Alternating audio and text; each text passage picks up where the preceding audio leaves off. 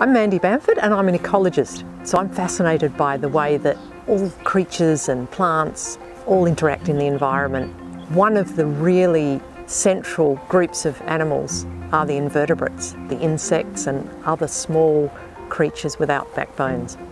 They are a powerhouse of the environment because they're very numerous, they're fabulous food for lots of other animals. They're also really important pollinators some of them are predators, some of them are parasites. Fascinating group of animals. Putting an insect hotel or a fauna shelter of any kind in your garden makes a huge difference because it provides shelter and structure for small animals that otherwise don't really have a lot of places to hide in your garden.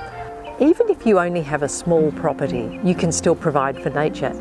If you create a tiny little hotel, you'll find that, that creatures will find it, particularly if you can plant just one or two flowering things to help them along a bit. So even a tiny garden, even a balcony, can be habitat for wildlife. One of the great things about insect hotels is there's lots of different ways to build them. And the way you design it can affect the sorts of creatures that you attract.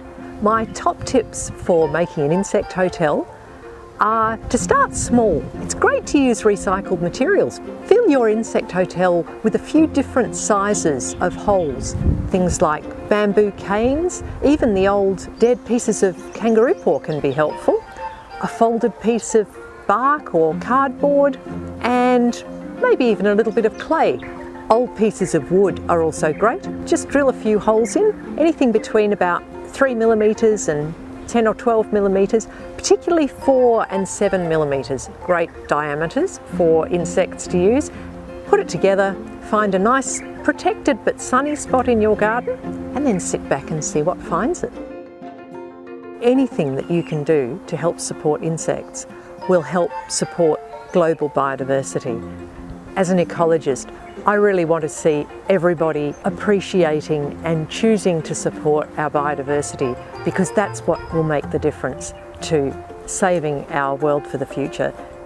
The creatures that your insect hotel attracts will do really important things in your garden. They'll help pollinate the plants, they'll provide important food for birds and lizards and other creatures in your garden. So it's part of the whole ecology of your garden that you could support just by putting in an insect hotel.